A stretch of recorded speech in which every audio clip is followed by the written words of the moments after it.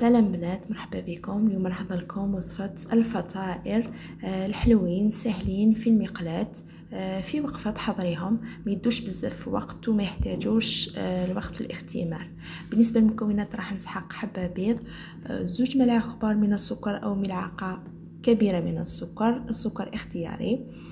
ونسحق كذلك نصف كاس من الحليب. الحليب هنا كان بارد سخنته قليلا لازم يكون دافي. نضيف للبيضة والسكر. آه، ثم بعد ذلك نضيف آه، ربع كاس من الزيت حوالي زوج ملاعق كبار أو ثلاث ملاعق كبار من الزيت للخليط. نخلط جيدا المكونات بالفوي. هذه الفطائر سهلين تحضريهم في دقائق فقط خاصة للأطفال في الصباح. وما يدوش بزاف الوقت والمكونات ببيضة واحدة فقط حضرت هذه الكمية من الفطائر.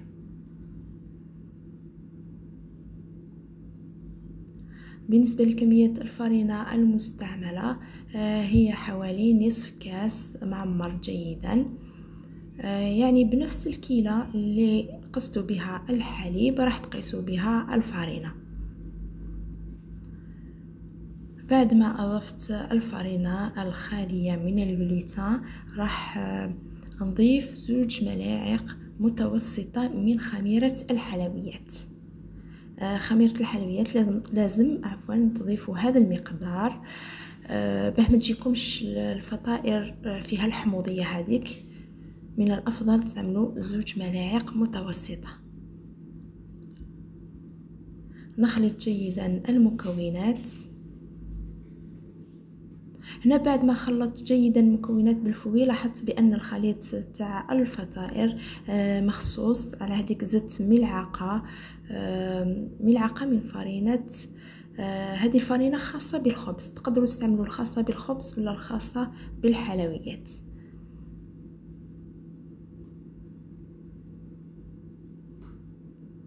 بعد ما أضفت ملعقة خلط جيدا الخليط. بالنسبة للخليط هذا الفطائر يجي آه، نوعا ما متوسط ما يكونش سائل بزاف وما يكونش متماسك بزاف. كما راكم تلاحظوا هنا نوع الخليط. آه، بالنسبة لطريقة الطهي في طاجين ولا في مقلاة المهم يكونوا ما يلصقوش. دهنهم بكمية قليلة فقط من الزيت؟ راح نفرغ كمية من الخليط آه، وبواسطة الملعقة فقط. راح نشكل على شكل فطائر دائرية. ودرجة الطهي بالنسبة للطهي هنايا راح نزيد للنار راح نزيد للنار آه، حتى يتنفخوا ثم نقص للنار باه يطيبوا غير بالعقل. باه يجيكم طيبين من الداخل ما تلقاوهمش آه، ماشي طيبين. وميم باه يتنفخوا لكم هاد الفطائر وتتحصلوا على هذا النتيجة اللي تحصلت عليها أنايا. بعد ما طابت من الجهة الأولى قلبتها الجهة الثانية قلبوهم بهدوء باه ما تخرج لكمش العجينة. أه تخرج لكم لون ذهبي لون جميل وكذلك يخرجوا أه منفخين وطيبين من داخل بيان هاي ليك النتيجة هذه بالنسبة للأولى. اللي طيبتها؟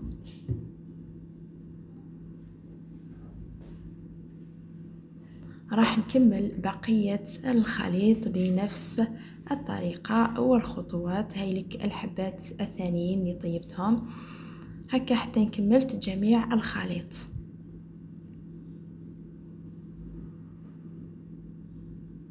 ما يدوش بزاف الوقت. آه في وقفة راكي حضرتي. فطائر سهلين والذوق تاني ملاح هايلين. بالنسبة أنا شخصيا عجبوني بزاف وأكيد إن شاء الله راح يعجبوا أولادكم ويعجبوكم تاني. نتمنى تعجبكم هاد الوصفة. آه هنا بعد ما طيبت كاع الحبات. يعني كمية الخليط اللي بقات لي كملتها بنفس الطريقة. وحطيتهم في طبق التقديم راح نزينوهم آه، مع بعض. هنا التزيين خيرت كمية من المربى بالطبع مربى خالي من الجلوتين شوفوا هنايا الفطائر كيفاش يجوا طريين والسمك يجوا منفخين ما يجوش رقاق. وراح نقطع لكم بعد التزيين. حبة باش تشوفوا كيفاش يجوا طيبين لداخل روعة. بالنسبة للتزيين استعملت المربى البرتقال. أو مربى المشمش اللي متوفر المهم خالي بدون جلوتين آه بالنسبة للمربى حطيت لكم آه في المنتوجات راح تلقاو آه النوع المربى اللي نستعملوه. ولا تقدروا تصنعوه في المنزل عادي. آه زينت كذلك الفطائر بقطع من الموز. آه يعني الموز ماشي ضروري تقدروا شوية مكسرات ولا مربى فقط أو الشوكولاتة أو العسل. هنا بعد ما كملت قسمت لكم الحبة باش تشوفوا النتيجة. نتيجة رائعة وبنينه نتمنى تجربوا البنات وتخلوا لي تعليقاتكم.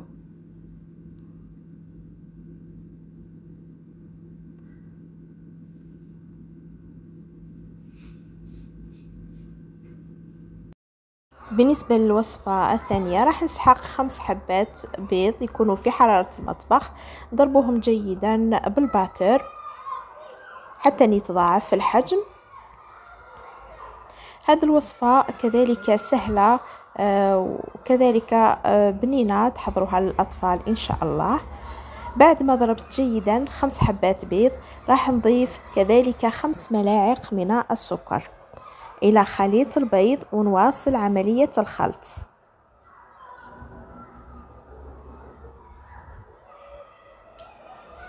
ثم نضيف حوالي خمس ملاعق كبار كذلك من الزيت مع مواصلة الخلط. بعد ما نكمل من الخلط راح نحضر خمس ملاعق من الفارينة بدون جلوتين الخاصة بالخبز أو بالحلويات. المهم نصفو الفارينة مع ملعقة كبيرة من غبرة الشوكولاتة أو الكاكاو وكيس خميرة الحلويات. نخلط المواد الجافة مع بعض ثم نضيف كمية المواد الجافة إلى الخليط السائل. بعد ما أضفت المواد الجافة راح نخلط الخليط بواسطة الباتر أو الضراب الكهربائي. راح تجيكم لاجينواز رائعة وناجحة.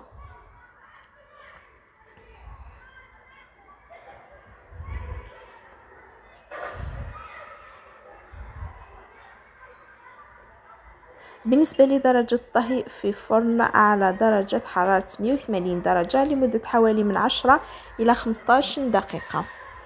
على ورق الطهي نفرغ الخليط ونمشي جيدا الخليط.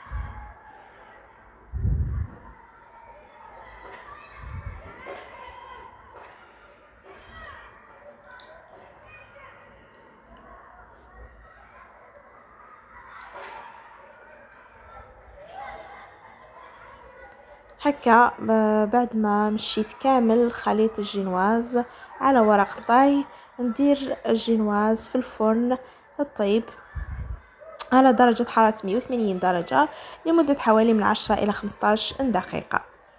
في نفس الوقت نحضر الشوكولاتة. عندي هذا النوع من الشوكولاتة اللي فيه العلامة آه راح نذوبه في حمام مائي. نضيف للشوكولاتة كمية قليلة من الزيت أو من المارغرين. وبعد ما طابت لاجينواز آه راح نحيها. آه كما راكم تلاحظوا هايليك. نحي لها فقط الجوانب اللي آه كانت محمرة شوية. هاد الجوانب نقطعهم.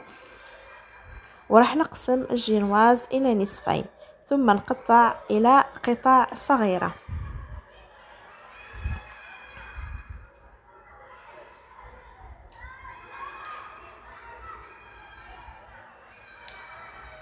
نقطع كامل الجوانب.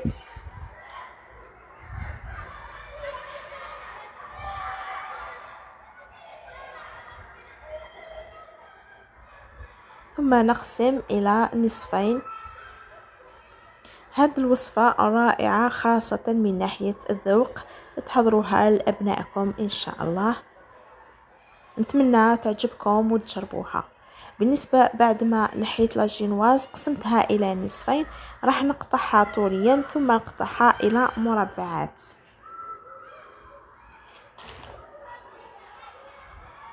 راح تخرج لكم كمية لبس بها هنايا بالنسبة للشوكولاتة ما كفتنيش باش نزين آه كميات آه كمية من آه هذه الحلوى كمية كبيرة آه درت حوالي ثلاث حبات فقط.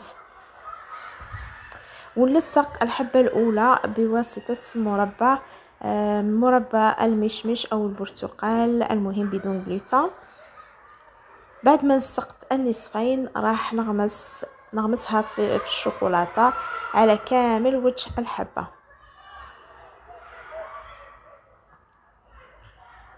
ونخليها تبرد والتزيين يكون بفتات من الشوكولاتة.